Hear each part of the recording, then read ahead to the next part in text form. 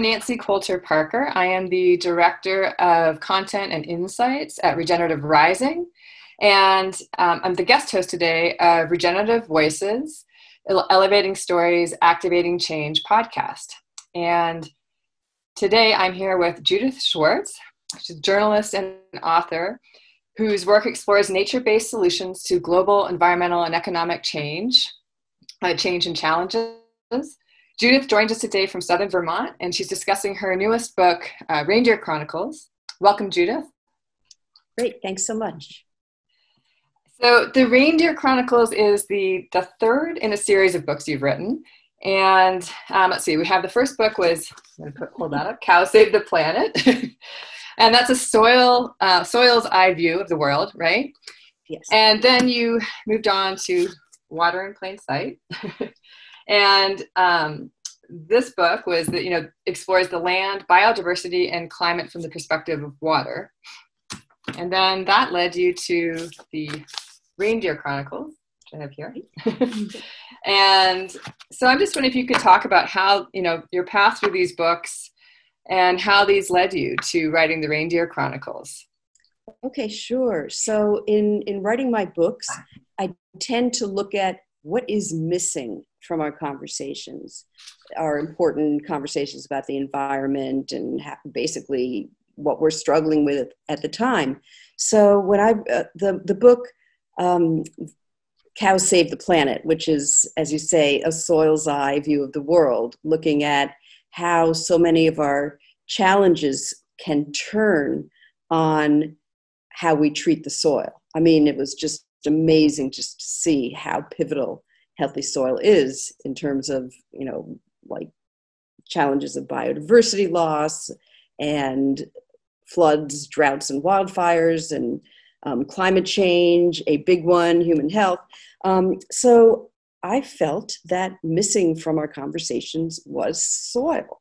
And just and, to clarify you wrote that book in 2013 correct so well before we were all talking about soil and carbon sequestration or you know as the conversation about regenerative um, agriculture was you know sort of starting but um, right so I mean, it's very then, trendy right now but this yeah. was you know many years back then no one was talking about drawing down about soil as a carbon sink and about the fact that when you draw down carbon through the process of photosynthesis and you're so you're holding carbon in the soil and that's where carbon wants to be. You know we often think about carbon as this you know scary alien thing that's up there lurking in the atmosphere but you know there's a carbon cycle and you know a big part of that cycle is that a store of carbon wants to be in the ground which feeds microorganisms and the whole underground economy which underground economy literally of trading carbon from the roots of plants and and that helps that supports the growth of plants and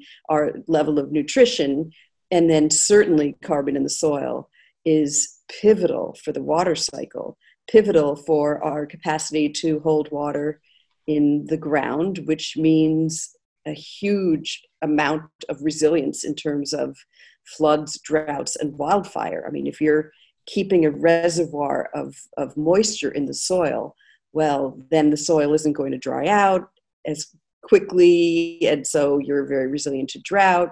You're able to hold water so you're very resilient to to floods and you're extending the season of green growth so the vegetation doesn't dry out as fast after the rainy season which means that you're more resilient to wildfires you don't have all that crumbly plant matter yeah so back then no one was talking about it and how exhilarating to kind of talk about something that's not out there, but to kind of explore and, and discover.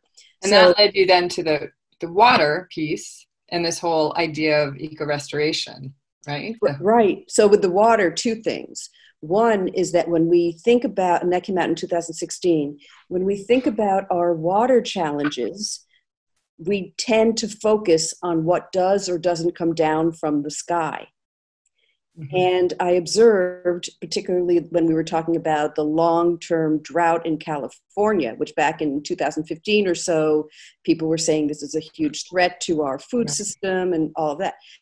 No one was talking about land degradation, but ultimately you can't really talk about water on a, in our landscapes in a meaningful way unless you're also talking about land and soil and the understanding that soil really is our water infrastructure on earth so right. yeah so so so there was that and then one other piece which does really lead to the next book which is that when we talk about the connection between climate change and water the discussion always tended to move in one direction which is that climate change will put added stresses on water sources throughout the world, which is, of course, true and hugely important.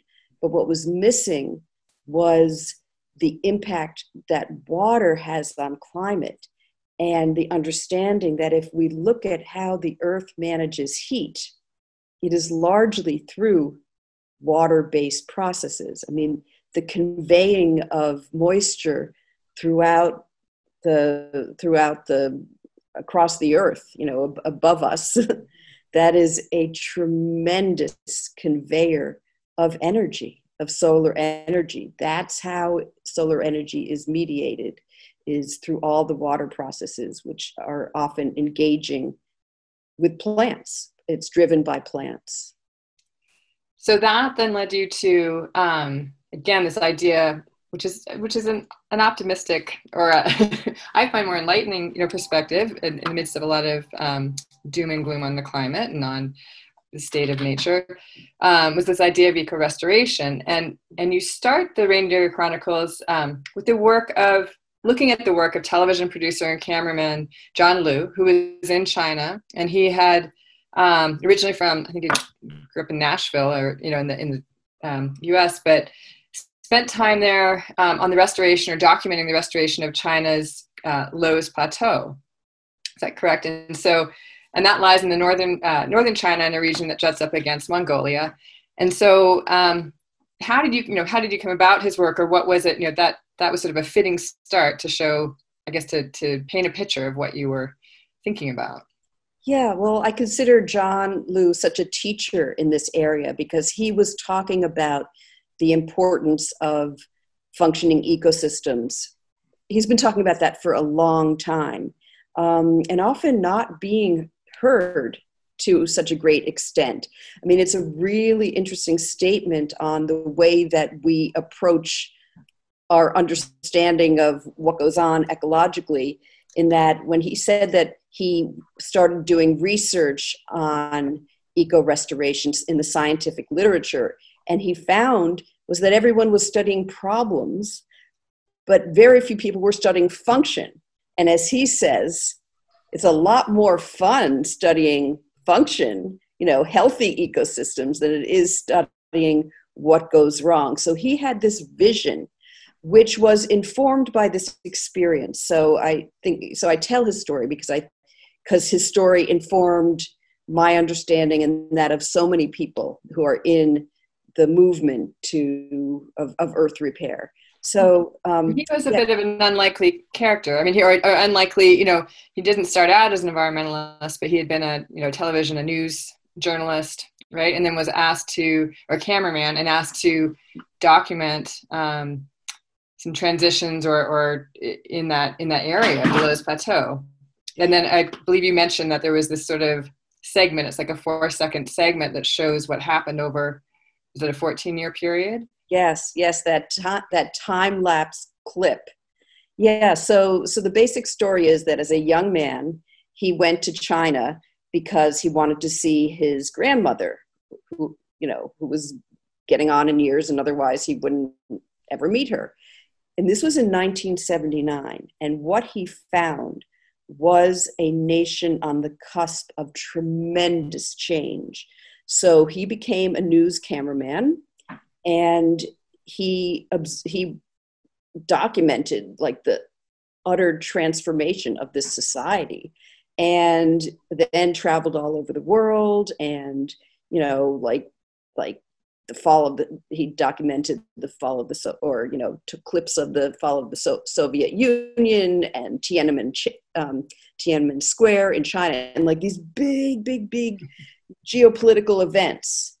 and you know of course he was on this adrenaline kick and moving all the time and wow this is you know the world is changing and this is dramatic and all that then actually through his school his children in school they learned about a um, classmates of theirs father was with the world bank and they and they the world bank was involved in this restoration of the Loess plateau uh, this hugely ambitious uh, project that like is so hard to even grapple with. I mean they mobilized like more than a million villagers in applying ecological restoration in this landscape. So a huge degraded landscape. When you, you look at the early pictures and you, you, you see people in dire poverty living in caves and taking their entire wealth is embodied in a few goats and they're taking their goats up a hill and the hill has just a few little tufts of grass. I mean,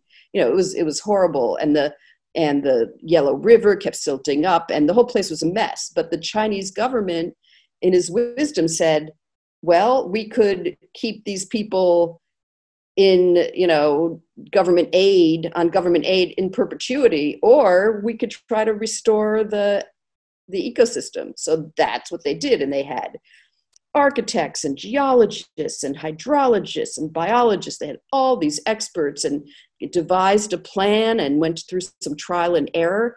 But mainly, they engaged with local villagers and created the possibility for people to be involved in restoring their old own landscape. So that, but it was a huge scale. This was was ultimately an area the size of Belgium was restored to ecological function. And I'm thinking of these photos that that show like you know like these huge, huge, huge hillsides then that are broken into terraces. It's terraced to hold the water as when it rains, so not everything continues to erode. And then they planted on those terraces, and then you see the images of that same once bare boned hillside that now is absolutely covered in green. So yeah, so it was really, really dramatic. And it changed it changed John's life. Absolutely. Right. And then and so then from um that point, that was sort of like your setting up point that this is not the only example that exists. Mm-hmm. Um, and you see, you know, you traveled quite a bit in this through, you know, different places in this book. Um, so the next, I think you, the work you looked at the work of permaculture designer Neil Spackman in the Middle East. Is that correct? And yes, um, and that was a situation which um, it seemed like was created with the Bedouin people, where the only way to preserve t- tradition and sustain their herds was to further degrade their landscape, which you know they just sort of seemed to be caught in this cycle. Um, and so, what you know, I guess could you talk a little bit about that?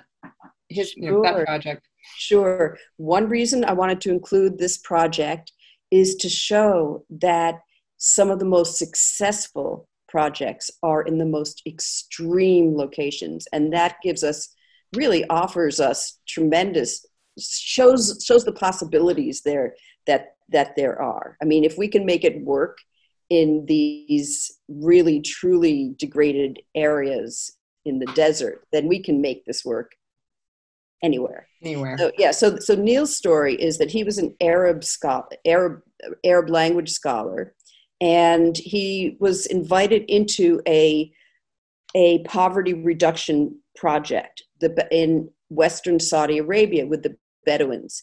The backstory here is that you know for thousands of years the Bedouin communities have been living on the land in a particular way. There was a particular ethic that they followed called hima. And included in this was how they moved their herds of camels and goats and sheep, and the fact that even the most empowered, impoverished among them would have access to the grazing land and you know anyway how it's done and this had maintained the landscape for all this time. In the early 1950s everything changed. The government changed the way that land is divided up or, or it hadn't been divided up it had been held in common and then the government said all land is either privately owned or government owned. And this meant that the Bedouin could not engage with the land the way that they had. So that led to greater impoverishment of the Bedouin communities, completely disrupted their way of life.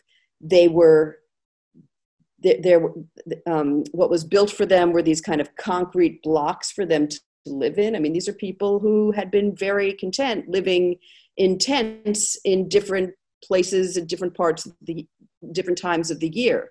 So what happened was the land degraded rapidly because rather than this measured way of this land is used at this time, but it's not, we don't overgraze because we need to move there because we understand what the land needs.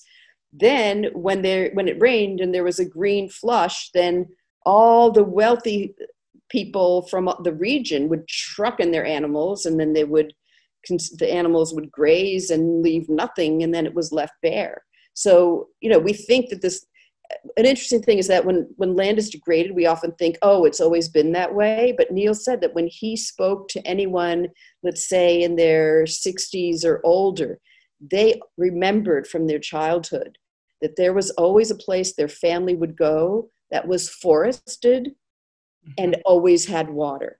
You know now the forests are gone and the water in the landscape is gone. So it's really pretty dire. And so, since these herders, the pastoralists, were not able to do what they had done in the past, they their culture was still revolved around the animals. So they had the animals, but the the fodder for the animals wasn't around. So they would buy feed from Australia, and in order to do that, they would chop down their own trees. Wow to sell for firewood to restaurants in Mecca and Jeddah.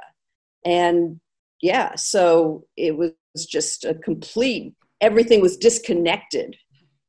Right.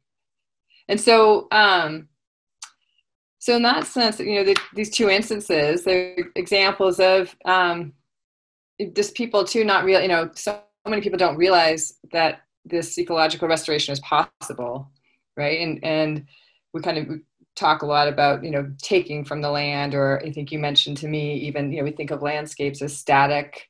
Um, and we know bad things can happen. We, we do you know cover that a lot but just not always knowing that good things can happen or, or where to start. Right. Um, and with you know, you know our system doesn't see the value right in the in the ecological processes. Right. That is really true. But i do want to finish you know let's show what happened with, with, with neil's projects. It was really extraordinary. So we had this you know bare land and you know like desert in this place where it might rain once every three years. I mean it was wow. you know, really really harsh. So neil worked with a team of local bedouins and he lived among them. And what they did was they set up they got plants locally, what is going to be um, adapted for that particular environment. And when it did rain, they captured all the moisture. So they built up a bank of water and they weren't going to use any more than they could capture. Mm-hmm. And so when it, when they got the rains, they would plant and they would use that water for irrigation and they planted trees and shrubs and just a whole variety of different different plants um, all with a design towards providing food providing firewood providing everything that they need habitat and all of that. So what happened was in 2016 the project ran out of funding so they turned off the irrigation. Oh, wow. And Neil's reaction was, okay, well, I guess now this is an experiment to see what what we've done to see whether anything will endure. And that then what followed was a period of time where it, it barely rained in two years. Neil went back into the fall of 2019 80% of the trees survived, wow.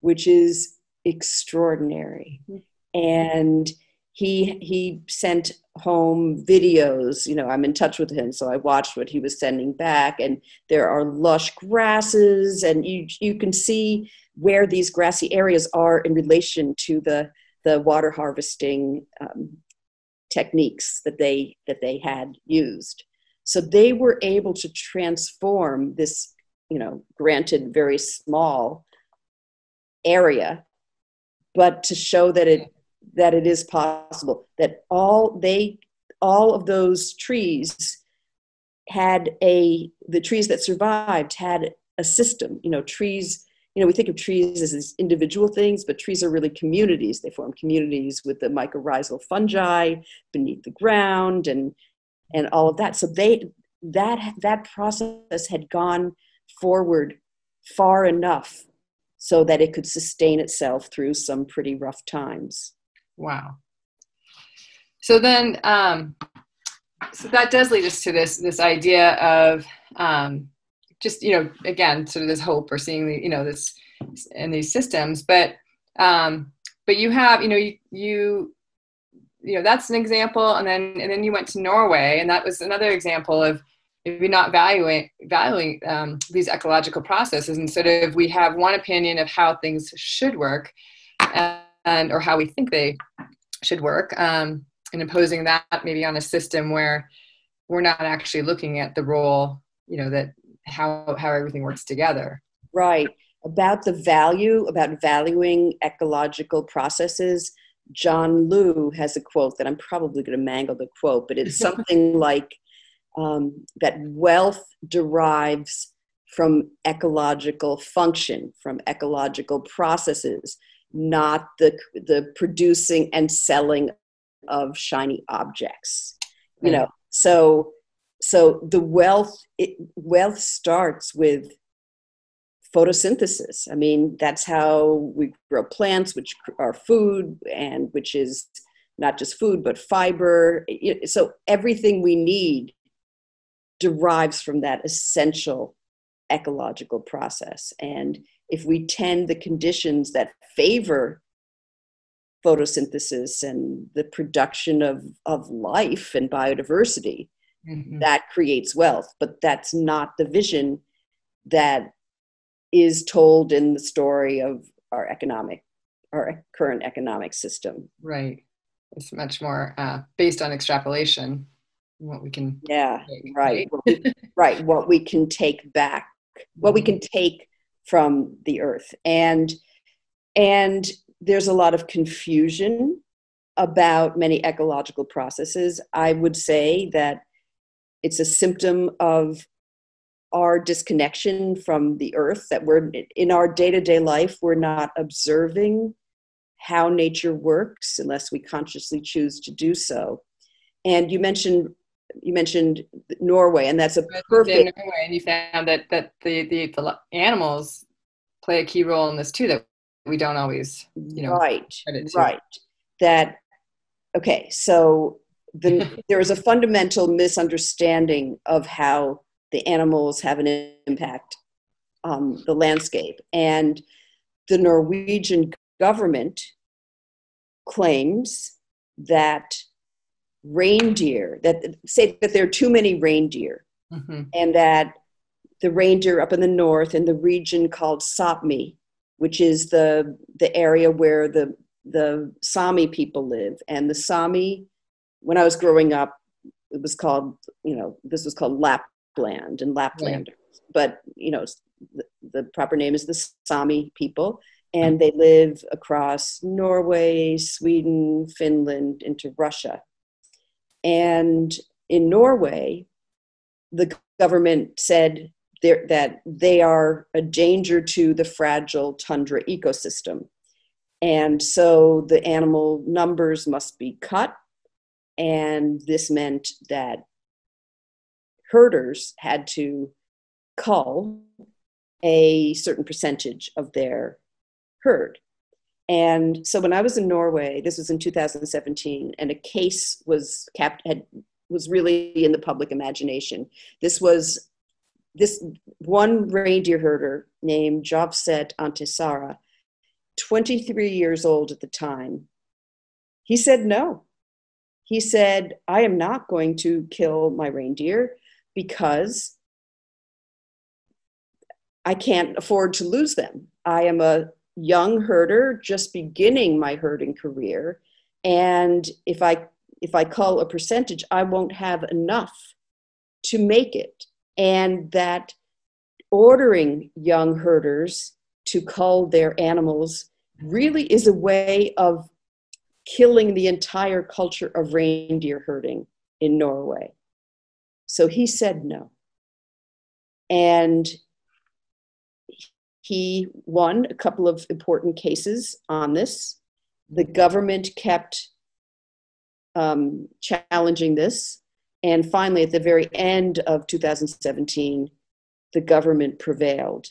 Now, part of the backstory to this, and it's something that's becoming even more of a factor, is that the, that the Norwegian government sees tremendous wealth up in Sapmi or the district of Finnmark. There's mineral minerals that they want to get at. There's offshore oil, and there's hydropower that they want to apply in this region. Again, this is a huge region.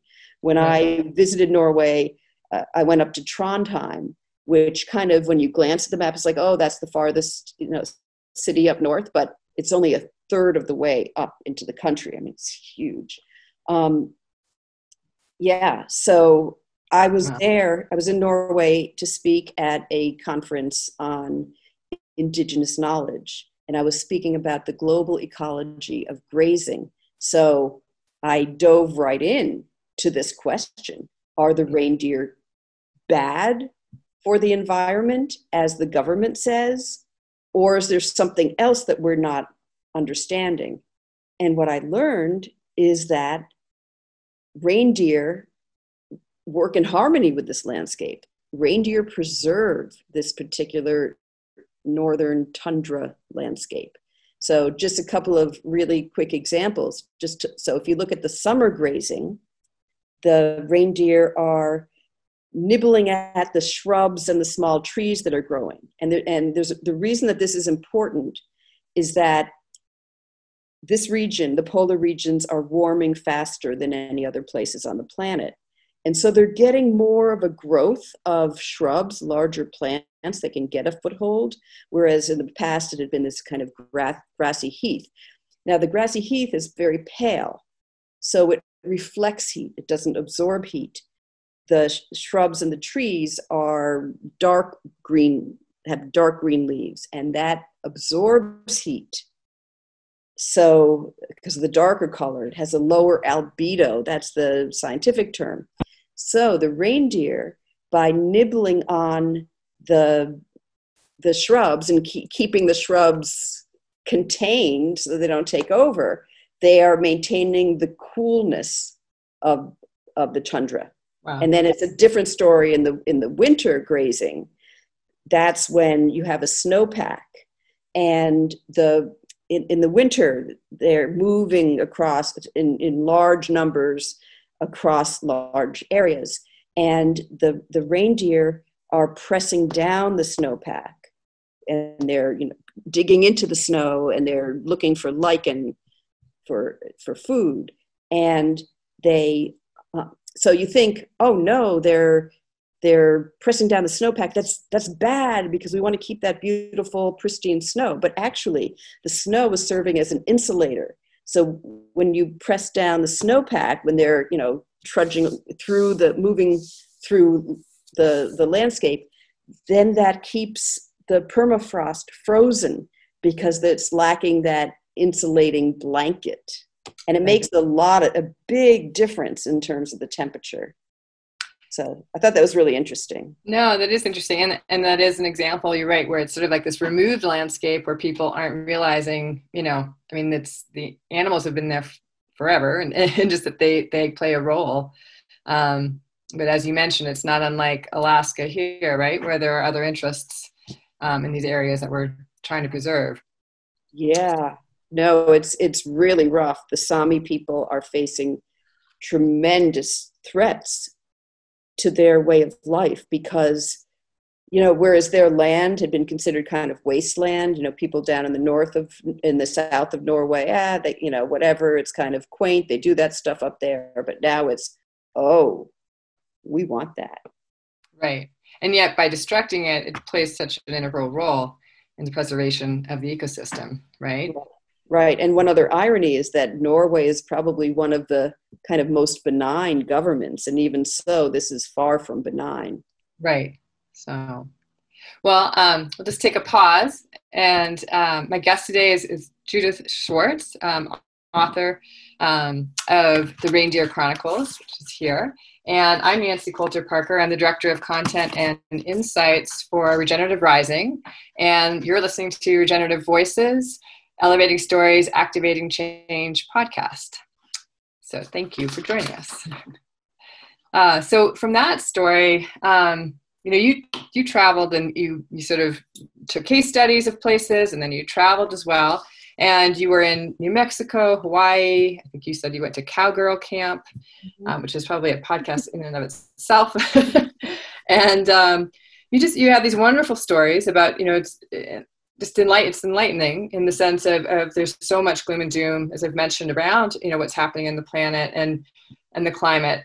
And so just sort of tying you know looking at soil and water as you've done, and then the welfare of animals and, and people and the people who live on the land and just sort of looking at the possibility of eco restoration of how everybody you know we can sort of bring people back um, to these areas and, and improve their welfare and also and also deal with climate change because right. i had mentioned that I, I like to look at what is missing from the conversation and in terms of climate change what has been missing from the conversation is the crucial role that functioning ecosystems play in climate regulation. And that fact opens up so many possibilities for us to rebuild that climate regulating, moderating capacity. So, on that, uh, you had mentioned to me, um, you know, uh, you talked about the void, you know, filling the void in ecosystems. That over time, because of whether it's climate change and areas heating, you know, um, species going extinct, that things shift. Um, and so that some of these things, I think you mentioned to me, like donkeys in, in Australia, I believe it was, but just that there is also this sort of looking at um, these voids in the ecosystem, and that things may fill in to you know to substitute for that that void. And again that we're not really appreciating or, or understanding their role within that, that ecosystem. Right right. So australia's australia is a really interesting case study in so many ways. Australia had i mean their animals now are fascinating. I mean i love you know to think about kangaroos and wombats and all these you know really intriguing marsupials but back 50,000 years ago or more, there were all these like huge creatures, like, you know, like the one um, diprotodon or something. It's like this, you know, a marsupial, the size, like, like a giant wombat the size of an elephant. You know, like the, uh, there were all these different animals and then they died out. No one is quite sure why, whether it was an ecological change or um, that Aboriginal, Aboriginal people hunted them to extinction or a combination of both. So the way that, that um, Australia has, a, like the last 50,000 years, Australia has kind of evolved without these animals and it has very poor soil and it has um, a kind of a fire ecology. A lot of their, mm-hmm. their plants are um, fire dependent like eucalyptus. So, you know, it has, it has all these different dynamics going on. So, um, there are these wild donkeys. So, back when um, the person that I've been following, named Chris Henggeler, is in Western Australia. I mean, you can think of like the outback of the outback. This guy manages an area of land the size of the five boroughs of New York. Wow. And his product is restored landscapes. That is what he's doing. He is wow. trying to make this piece of the earth better and more functional. And he does that mostly with cattle. So, in that part of Australia, in the late 1800s, people brought in donkeys as pack animals. So, you know, they were moving things across large areas and getting the railway going and all, all that stuff. So, after they no longer needed the donkeys because motorized vehicles came into became available and also donkeys happened to live a long time upwards of 40 years and so like if someone's done with them you know they just let them go so this created a situation where you have these bands of wild donkeys just kind of roaming around and you know they're very clever creatures and they kind of you know found their way and this and that and the government considers them pests to the point where they are trying to eradicate them. Wow. I mean, like, get them right. out of there. Mm-hmm. And um, yeah, there's some very, very cruel programs to do that. It's really, really distressing when you understand, you know, that these are very intelligent social animals. So Chris Henggeler saw that there was another way to understand how these donkeys are interacting in the environment. And specifically, he saw them as tools for fire management because they browse. So, so cattle, you know, he's working with cattle, and one of the things that he's doing is making the, the land more fire resilient by working with the cattle so that they are helping to regenerate the landscape, bringing added moisture and fertility so that plants are growing and so that the the, the dry season doesn't happen so quickly so that there, the, there's moisture in the landscape longer into the dry season. You know all those different things that and creating better biodiversity by moving seeds around and pressing seeds in and pressing the dried plant matter into the soil to be, so that it doesn't become fire fuel. So there are areas where the cattle won't go, but the donkeys are very happy. And the donkeys um, are browsing on all this brush that otherwise would need to be recycled in another way. And the way that nature does that is through fire. So right. it's kind of a choice like, do you recycle this plant matter through the you know biologically through the digestive processes of animals which has lots of other um, ecological implications of transferring seeds and adding fertility to the soil and all of that or let it be fire fuel. So he believes that these wild donkeys are are allies to a huge extent. But the very narrow way of thinking about this, these animals are oh, but they're not from Australia. So we can't have them, right. as opposed to looking in terms of function. They're filling an ecological niche that is that is not otherwise being filled. Right, and that's needed. Right. Well, so then you, um, and, and I guess that you touched on that as well a little bit with me uh, when you went to cowgirl camp. Was that in Washington? Yes, in eastern Washington state at the Lazy R Ranch. Okay. And I think um, just that idea, too, again, of what the role, you know, animals do play, and, and whether it's cattle or, you know, that we tend to, um, there's, you know, there's clearly different movements that have been going on on that front, but just that, that key role of them um, working the land, right? Right, right. And so I had been writing about this for a long time, but I hadn't implemented it myself. And actually, that summer, for an experiment, we got a mini flock of sheep. So I learned how to move animals on the land. And, you know, of course, it was quite comical. We, you know, us with our, our fence, you know, our fence, fence moving and figuring it all out. But what I hadn't expected was just how much how much I loved being around the animals. And, you know, and that's real too. You know, when people are working with animals, it's very, very rewarding in part because of just, you know, we we are of nature and you know uh, uh, humans have always been interacting with animals. And so at the new cowgirl camp one, one reason, well, what I wrote about was about the role of women in regenerative agriculture and how women are coming to the fore and, and putting together the links between what they desire, which is healthier landscapes, healthier food for their children in their communities, and saying, I want to, I, I'm up for this. So I was at camp with, I guess there were about 10 of us. And there, I was so impressed. There were young women who were planning on starting ranches, and they have. And I see them on Instagram with their animals and and what they're doing. And it is it is beautiful and rewarding work. And with so many implications from the food security providing food and nurturing and stewarding the land and helping it become more beautiful and vibrant. And yeah and then also the point about women in regenerative agriculture to understand that in much of the world women are tending the land, saving the seeds, and caring for their families and community, feeding their families and communities.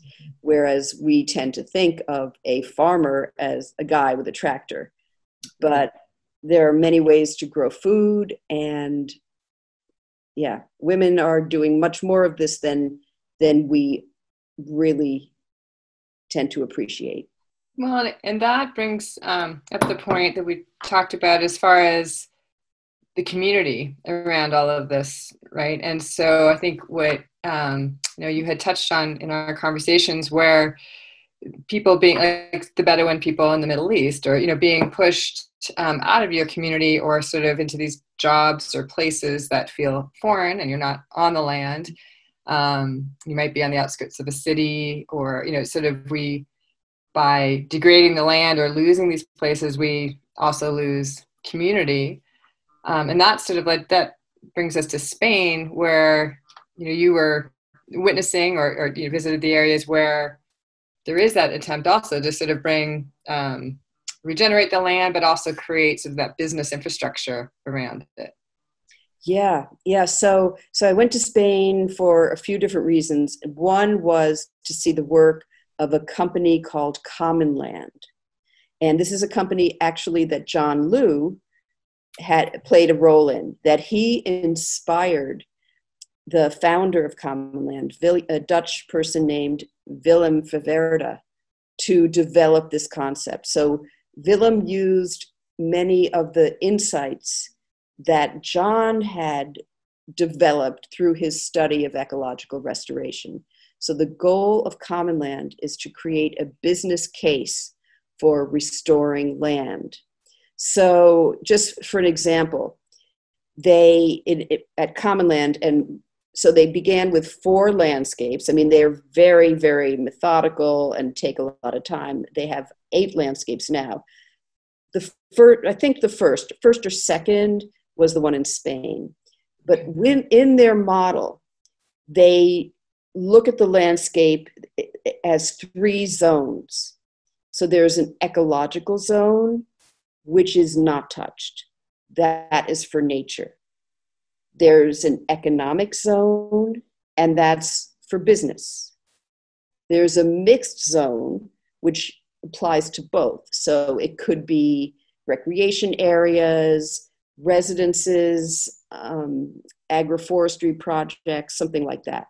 But one of the insights is that by having a natural zone, land that is not touched, it actually allows the economic zone to be more productive.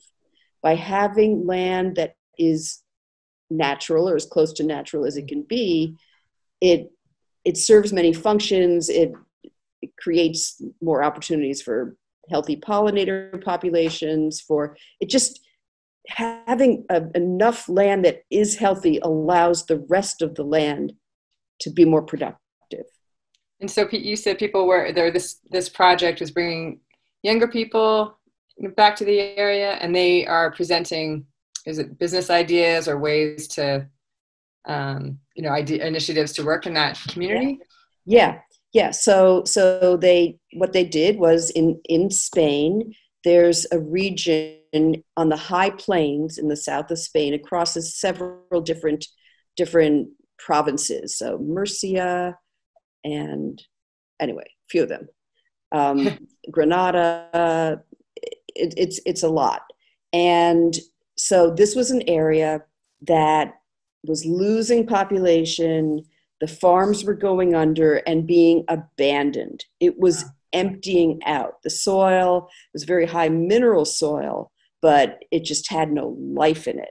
Mm-hmm. And so young people there who grew up there, they if they wanted any future, they left. So it was kind of, you know, some places kind of become just abandoned to the older people who just don't have the initiative to leave. Right. So, but but they saw the Commonland team saw potential in this area because there were some farmers who were very forward thinking and were trying to work ecologically and had a, were so committed to this land that their families had been in for centuries. So they Commonland created a community organization called AlVelAl and through that hosted many events and a lot of education around regenerative agriculture and kind of created this whole possibility of doing work. And what they did, they chose to focus on a particular kind of landscape based around almond production. This region has the the most um, it's the has the most rain fed almond production of anywhere in the world. So what they did was working ecologically. They integrated the almond production with growing cover that's herbs. So they had so the creation of essential oils from lavender and thyme and sage and so whatever grows well there. Mm-hmm. Then they also integrated sheep herding because bringing back sheep that are indigenous to that area, then the sheep are grazing around the vegetation, around the trees, fertilizing the area, and offering another layer of something to, to sell and to build wealth upon. So, um, you know, so a whole system of the almond ecosystem.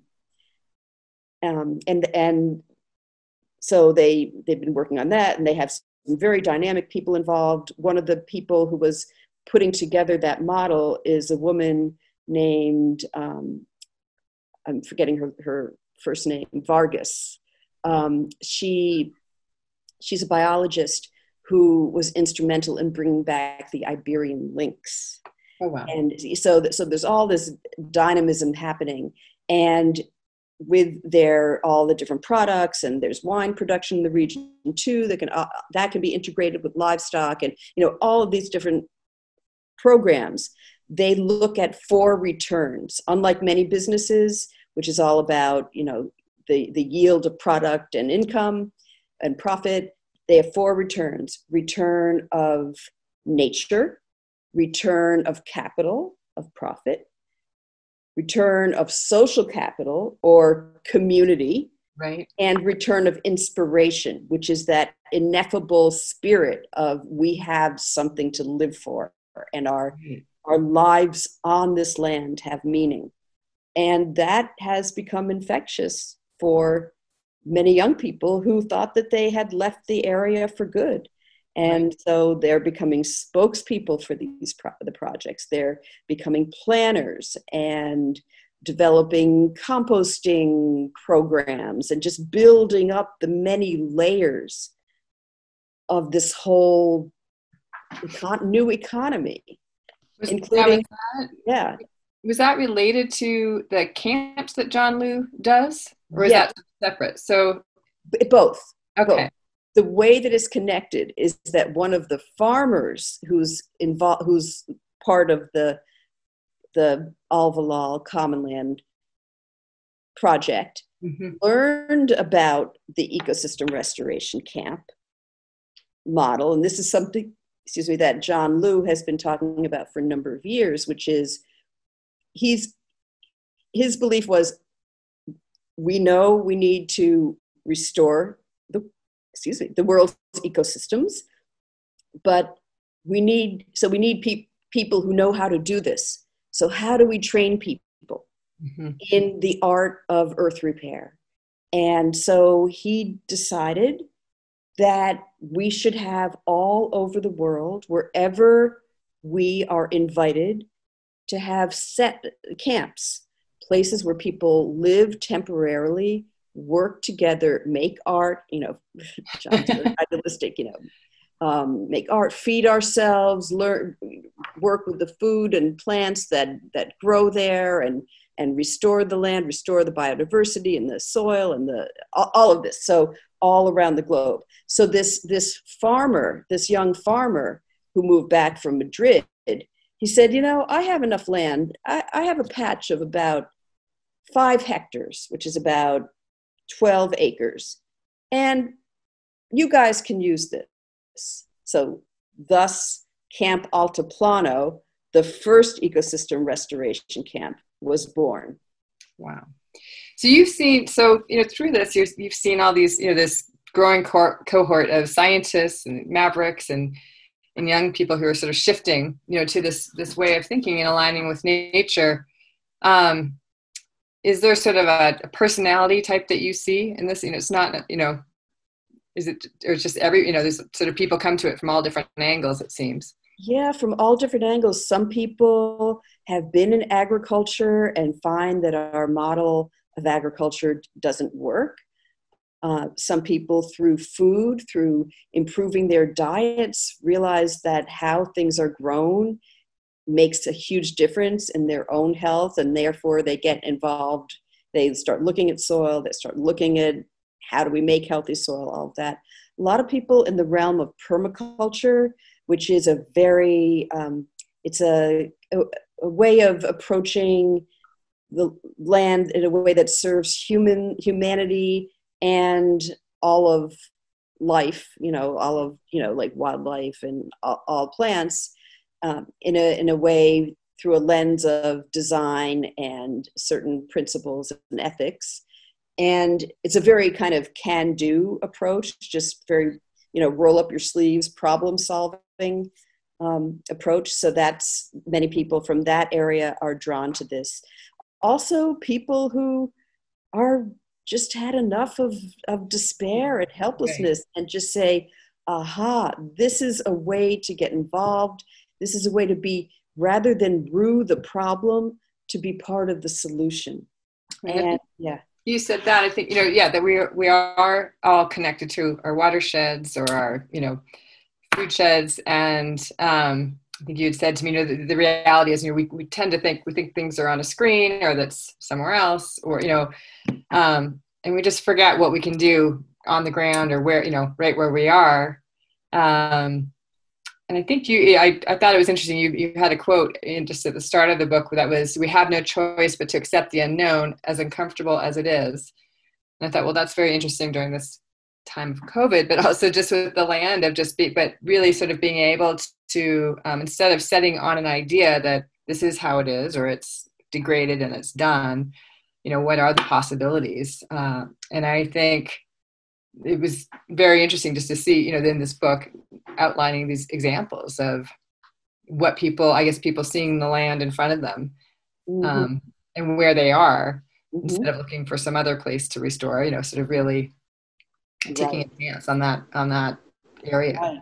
And that is one of the really exciting things about the the eco restoration camp movement is that there are people who are going to other landscapes you know i mean we all want to check out what it's like in another corner of the world and we all you know one learns an incredible amount from that. But then there are also people who are setting up camps in their own regions. Perhaps they need some help. Perhaps they want to they they're they want to share what's possible in say a tropical environment or um, you know in bolivia there are also certain challenges that they have. I just want to mention that when I went to the ecosystem restoration camp, Camp Altiplano in Spain, that was there were that was one of two functioning, you know, like two camps. It was just beginning. Now there are more than 20, wow. including several in California, and one in California, Camp Paradise, is was developed in the aftermath of the horrible fires in 2018 in Butte County when the town of Paradise burnt up. Right. I mean, it was horrible. You know, that was involving you know the huge brush um, wildfires, but also the decisions made by um, PG&E, the electric company. Mm-hmm. So, but it, it was really devastating.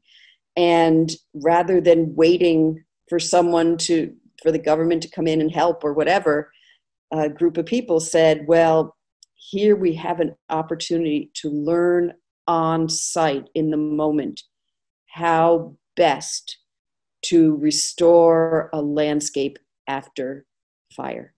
Wow.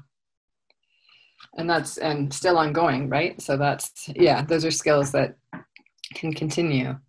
Um, well, what I guess from what is your you know sort of ultimate takeaway, or what's you know, or what's next? Like, where does this lead you now, or on your? Wow. Well, right now I'm all about sharing this, sharing this understanding that we have so much agency in terms of how our landscapes function and and that that that matters that matters everywhere it can start small in your land i mean even you know even just little changes on our land i added another garden with a lot of um, a lot of flowers and the number of pollinators mm-hmm. that come here. I mean you know i could say yay isn't that great? We have more beautiful butterflies. But that butterfly those butterflies are stopping here then they're going somewhere else. And they're and and just we are all connected. I mean if there's another thing that our that the pandemic has taught us is that there is no elsewhere that doesn't be you know it doesn't touch us. Right. so every bit of the earth that we can enhance how it functions that matters. You know someone up the hill from me if they work on their watershed that means less runoff on the mountain less um, you know just less work that has to be done on the roads constantly less flow of silting up into the streams whatever we can do. So that's the small scale. And then the large scale we saw in, on the Loess Plateau. And that's a huge canvas, but they, but I mean, more than 2 million people were brought out of poverty, not by handing them money, but by helping them to heal the, the earth. So, yeah, there's so many possibilities. I was going to say the story of possibility. Yes. Well, thank you for, for sharing uh, with us today. And um, our guest has been Judith Schwartz, and she's the author of The Reindeer Chronicles, amongst other books. and I'm Nancy Coulter Parker, the Director of Content and Insights at Regenerative Rising. And you've been listening to Regenerative Voices, Elevating Stories, Activating Change podcast. Thanks for joining us today. The Regenerative Voices Elevating Stories, Activating Change podcast series is produced by At the Epicenter, a 501c3 nonprofit organization. The podcast and video recordings are made possible by the generous support of people like you. Make a tax-deductible donation or sign up as a monthly supporter by visiting attheepicenter.com slash donate. Support packages start at $1 per month. The podcast series is also sponsored by several corporate and organization sponsors. To become a podcast sponsor, visit attheepicenter.com slash contact to let us know of your interest. If you found this podcast episode insightful and meaningful, please pass it on by sharing it with a friend or colleague who will also enjoy it. Thank you for tuning in, for your support, and for activating change.